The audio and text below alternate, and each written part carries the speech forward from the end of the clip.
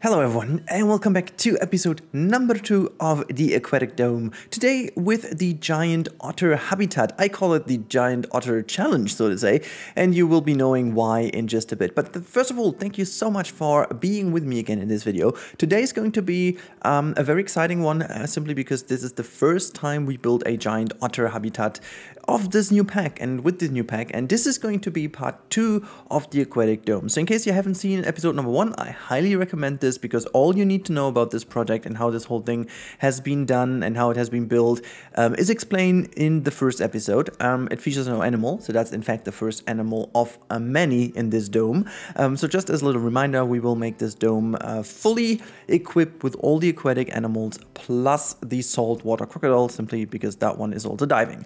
Now, Let's talk about the design of this habitat. So this habitat is featuring three, well actually four key elements. Um, the first one being a little bit of a zigzag um, course that is going above the waters. Um, that's where you come in. Then you're going to go down below through a tunnel that is guiding you from the right hand side to the left hand side of their pool.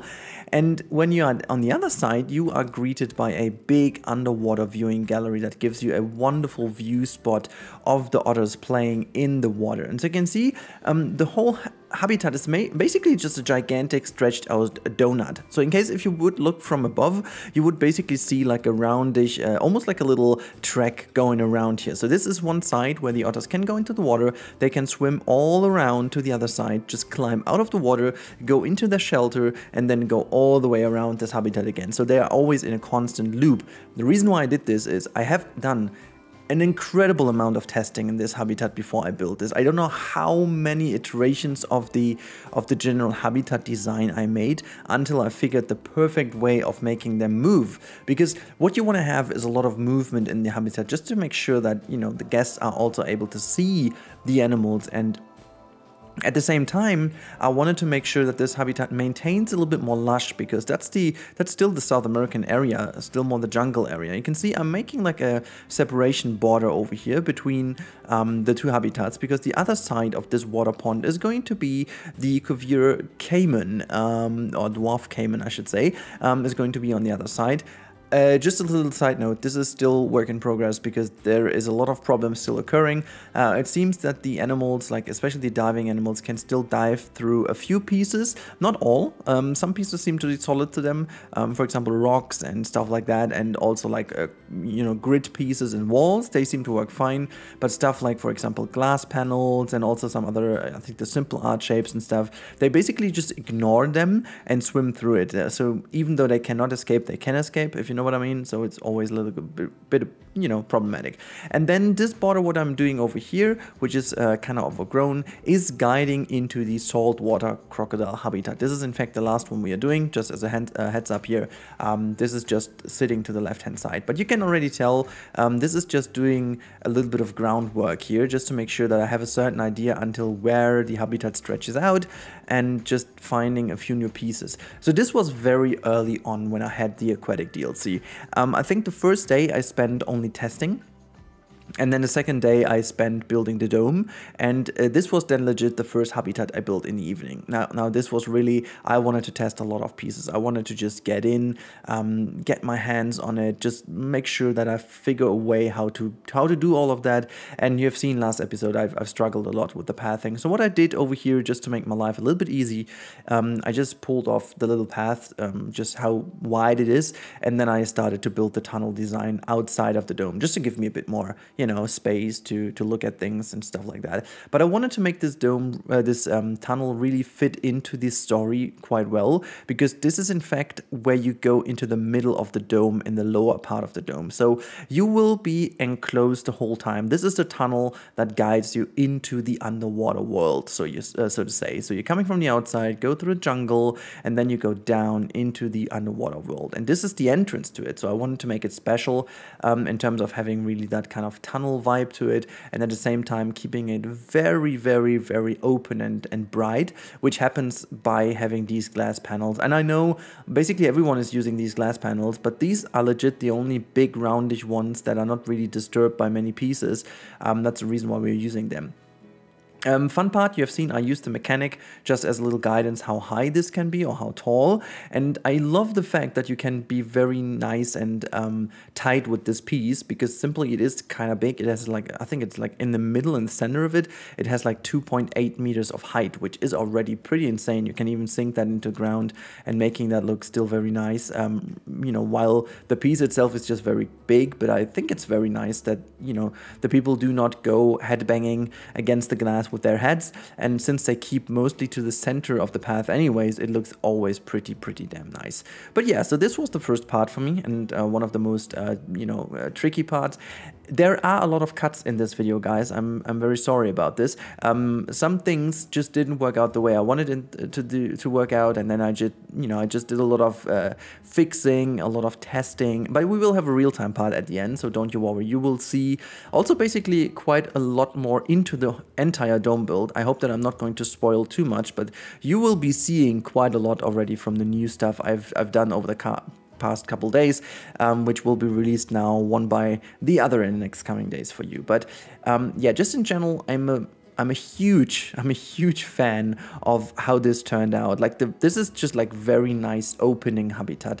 Um, if you go in here, the only habitat that you will see before that one is uh, parts of the caiman habitat, not all of it, but just parts.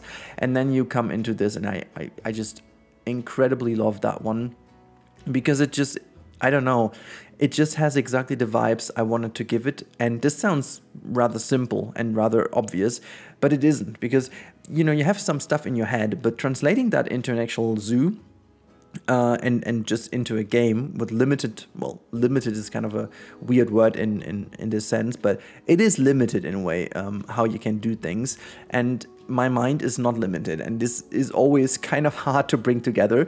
Um, so what i mostly do is i start very big very bold and then i have to shift down step by step um, and just figuring out where the limits of the game are and then i you know i try to go from there. And this habitat over here made me so much ha uh, more happy than usual because i didn't need to go back that much. I just didn't. I, I just could do it exactly the way i wanted it. There are a few little things i would have loved to do more uh, tight for example there are a few more things I would have loved to do a bit more different. For example, this uh, pathway um, over the water. I would have loved to use the two meter path. This is now three meter path. I would have loved to use the two meter path, but even the three meter path is already uh, causing some insane traffic jams. So I'm really looking forward to fixing that a bit more. But I think it, you know, it fixes itself naturally once people start to uh, walk through the entire area a bit nicer because there are more animals. At this point, there's only the otter, and so obviously people just stay over here to see the otter. And I really hope that in the future they don't do this and they just, you know, walk over into the next areas because there will be seals, there will be penguins, there will be saltwater crocodile, um, and you know, just in general, a lot more animals. But you can see already um, we are getting a little bit more forward. Um, uh, and now I think this was the part where I figured most of the things out and most of the things worked. You can see I already have the feeder in, which is going to be hidden away now uh, just to make sure that, you know, it, it is not the ugly feeder over there. I just took some rock pieces from the new wonderful fake rocks and then you can use them. I don't even know why they call them fake rocks. For me, these are rocks, you know. You don't notice in the game if it's plastic or not, or like, you know, artificial or not. They just look like rocks, so they are rocks for me. I mean, it makes sense that they say they are fake rocks because you want to put them into the water without making the water get poisoned or whatnot. So these are fake rocks. Okay, I get it but it just doesn't change a thing for us, does it? I mean, it's just a rock. You can use it as a rock, and well, we are all happy because it's a rock. Anyways, don't drink uh, whenever I say rock because that makes you uh, pretty much drunk in 10 seconds now. Uh, but yeah, I just continued. Uh, playing around with a few things over here and then I, I figured I wanted to have like an otter slide okay because the otters love to play in water and shallow water as well so I figured okay there needs to be something that is yeah, um, paying tribute to the fact that they do love to play. So I built this wonderful slide over here, started to cover it up a bit more nice. And yes, they can walk up there and no, they don't use it that much, but still, I like to have it in the habitat. And eventually, maybe in the future, they start using it. Uh, but yeah, so the outside part was um, really needed because this habitat overall is just meeting the requirements of land space for them, which is just very odd to, to think about because it is very, very big in terms of overall size. But since um, uh, since I what was that pronunciation though? Um, since I just made this very intricate and used a lot of pieces and, and nature and stuff, and having paths go through and having the underwater, underwater uh, gallery and stuff, it, it just made the whole navigatable area very, very narrow and tight. And I think this is mainly the reason why this habitat seems to be rather small it isn't. I, I promise it isn't small. It's rather big, but yeah, it just didn't work out the way I wanted it to. But whatever. At the end, um, I met the requirements even, and you know, in Sandbox you don't need to. But I'm planning to release this as a blueprint that you guys can also use in franchise. So yeah, I wanted to fix it, and I fixed it in the end. So be proud of me, okay? Be proud of me. Now guys, we are moving on a little bit further into the um, well later part of the time lapse and now my question is how do you like this this habitat so far? And please let me know in the comments down below what's your favorite part of this entire build? Because we have like as I said three main focus points which was one being the um, you know the above water outside viewing then we have the underwater tunnel and then we also have the viewing gallery. You will see this a lot better now uh, like later on in the um, in the real-time part, but just, just mentioning. This part over here is left in because reasons. Now, I wanted to keep you guys uh, out of this trouble. Don't ever delete all the terrain and build the habitat later. Build the habitat barriers before you do anything else. Because it was a pain, a real pain to kind of connect this habitat again. It, it's a insanely complicated design. I will at the very end of this project show you all the problems I had because it will be incredible, incredible um, to see that. It's just like, it, it, looks like something very much broken, but it isn't, and that, that's a great thing. But yeah, so the last part we are witnessing right now is building the um, railing over here. And as I said, this is already pretty late in the project. I, in fact, I did this today after like I think all aquatic animals habitats are already done at this point in time.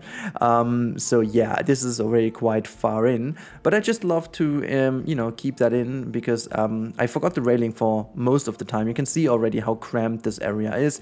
There's a little, little peek to the right hand side. Uh, but yeah, I, I, think I managed quite well to not show you too much.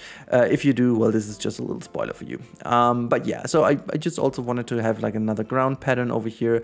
I used the new wooden pieces from the uh, aquatic pack because I just love the wooden pattern. I just love it. It's great. It's not as weathered as the one of the pathway, but it's also not as shiny, new and bright as the other type of path we have. So I'm just very happy about the pieces. I'm just in in general, I love the new pieces of the pack. They are just freaking insane. I gotta say, they just are freaking insane. Um, but yeah, so guys, um, just as a little uh, quick yes or no thing, or basically it's like a more, no, it's not yes or no, it's basically black or white. What is your favorite area? Is it more like the Arctic ice stuff, or is it South America, jungle, rainforest? What, what would you be more excited for when you go to an area like that, which is divided into both of these things? Um, that's something I'm really interested in to know. Um, for me personally, I think it would be still jungle, to be honest, because warm and swampy and stuff, I, I think that just, you know, is a bit more nice for me, but I don't know, it's just like a personal preference. However, this is it with the time lapse, and now enjoy the real-time part. I promise it's very great, so stick with me and enjoy my real-time self. In just a few seconds, I guess. Yeah, we are just getting closer. Now enjoy. Hello everyone, and here we are in the real-time part. I will try to keep it relatively short and also be careful because in uh, this save file there's also like a lot more done than um, only this habitat. So um, I will quickly show you how it looks from above. You can actually see this is where the um, above area or the, let's say the layered area um, higher up in this dome is having a view inside the other habitat. You can see this is like a bit more of a jungle. This is a railing over here we built just at the end and then you can have a very nice glimpse. There's just one otter lying over here, utterly cute I would say. And then this bridge design over here will quite change um, towards the end. Uh, there's a lot I want to do. We have like a little stuff going on here. Look at that. All these otters swimming down here. I have quite a few in here um, just to make sure that we have a lot of movement going on. Um, I'm, not really sure how many of them live together. I think it's just two actually.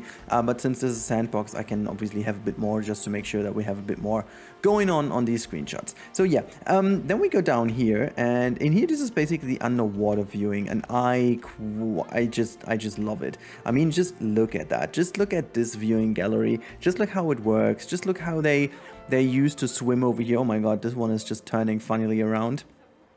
So that is all pretty, pretty dang cool. And then if we go around the corner, you can see this is the underwater tunnel from where you can actually also see and spectate the otters. There you go, or spectate, I should say.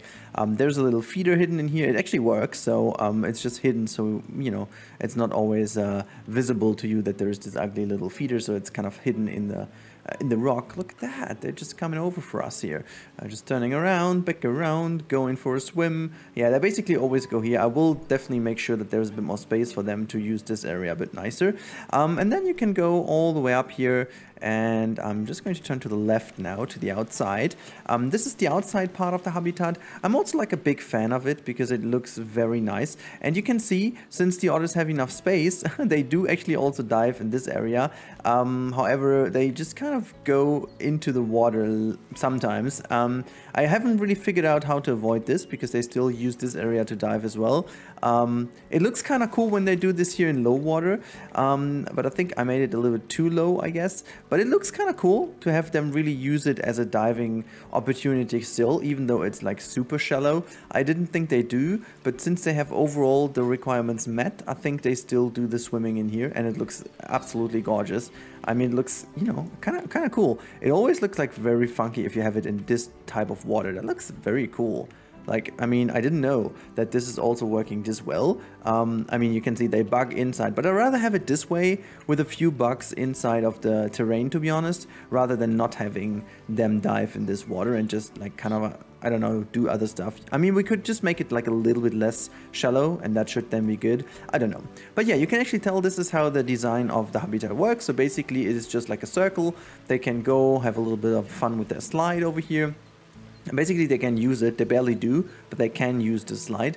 Um, they have like a little tunnel to go through under this little log, and then they have like this connection over here to the other side. I'm not moving too much more because you can see there in the background there is already something. I don't want to spoil this because it's very special um, coming for you in the next couple of days. Are you playing together just to show me some animations? You're not, right? Okay, you're not. Or are you? No, you're just doing some weird stuff. Okay, anyway, so this is the habitat. I'm just to zoom out a little bit so you can actually see this. By the way, this is the tunnel design. I'm just, you know, put that to the side for the moment.